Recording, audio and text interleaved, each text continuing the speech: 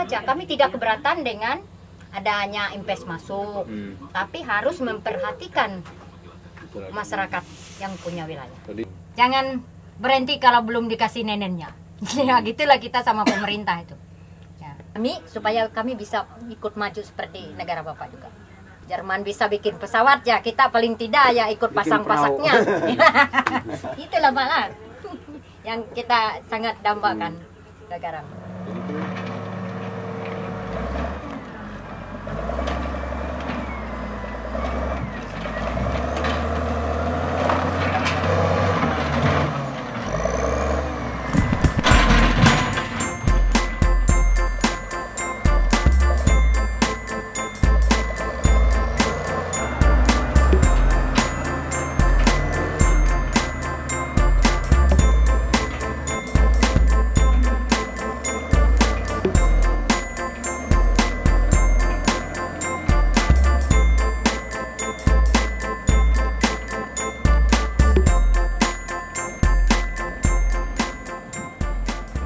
Basically, what I learned is that every year the companies open a new so called block within their concession area that they then harvest within that year.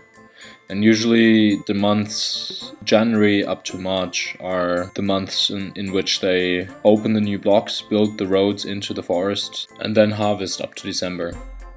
And what you essentially have is a system whereby a forest goes to a logging concession for 30 years.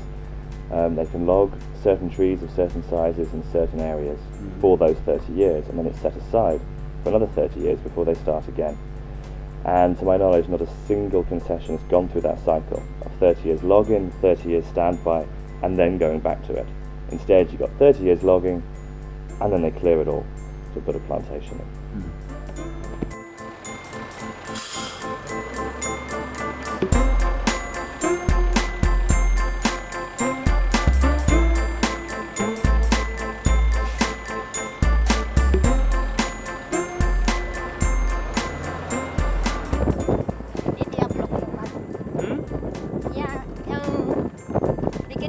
baru ini, tapi Ah, ini. belum anu, Okay. belum apa. Awan. Udahlah. Ini Kim ini kan IRKT 2010 ya. Di 2011 ini ketika operasi 2011 dimulai, Kim-Kim ini dipindahkan lagi, dirancang seperti ini supaya bisa ditarik pakai traktor. Rumah ini ya, Iya rumah ini tarik aja. ditarik pakai traktor.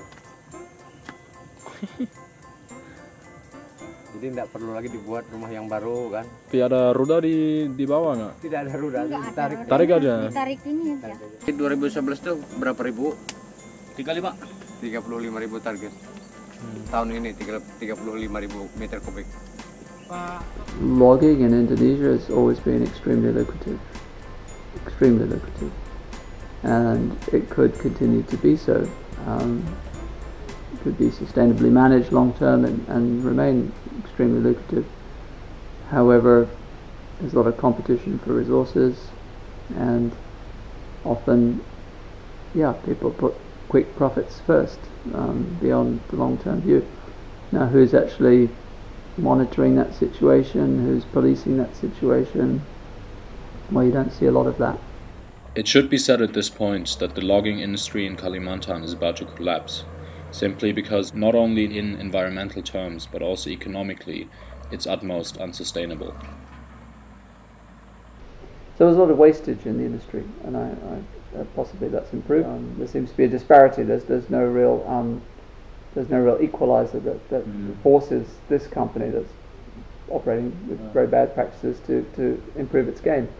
It's still very very lax. Um, so when we talk about forests, we have to not be too emotive, but to really look at what is there, and and say, well, primary forests obviously we love them, but uh, limited logging in, in, in various landscapes um, is quite acceptable.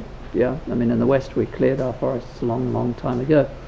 You know, we've been, I've been arguing since the beginning I was here, sustainably logged forest is fine. Forest cover on land, even if that forest is logged quite badly, it's still maintaining the biodiversity. Rampant illegal logging, chopping everything down and pulling it out, doesn't work. So, sustained exploitation would have worked, could have worked, Unfortunately, they destroyed everything. Well, now to get a good sustainable system, you have to up your prices. You need to start processing the timber in country.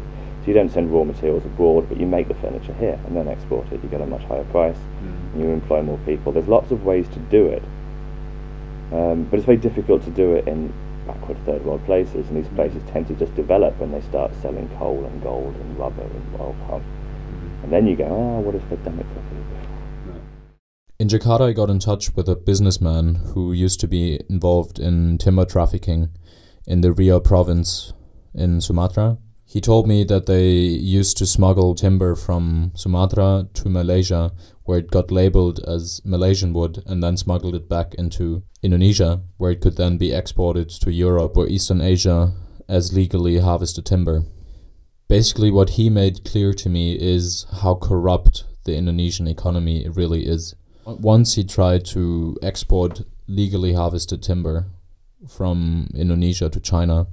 However, the harbor police was so used to being bribed that they simply didn't let the legal timber pass. Basically, the corruption in Indonesia forces businessmen to do it illegally because that's always the easiest and fastest way.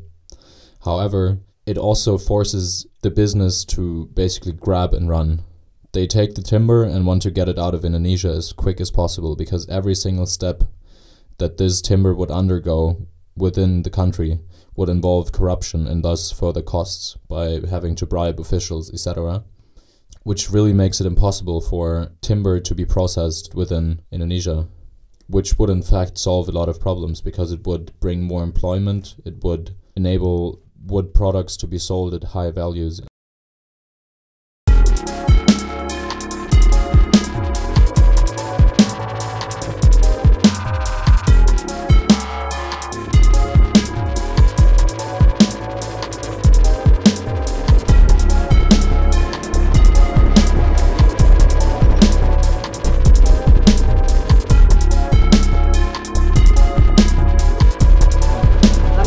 Jakarta.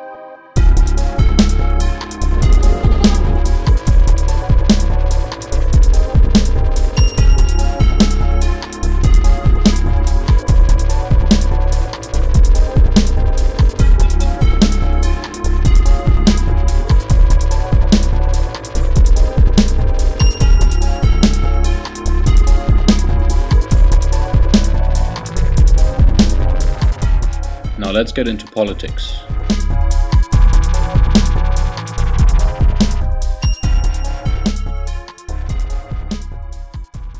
REDD stands for Reduced Emissions Through Deforestation and Forest Degradation.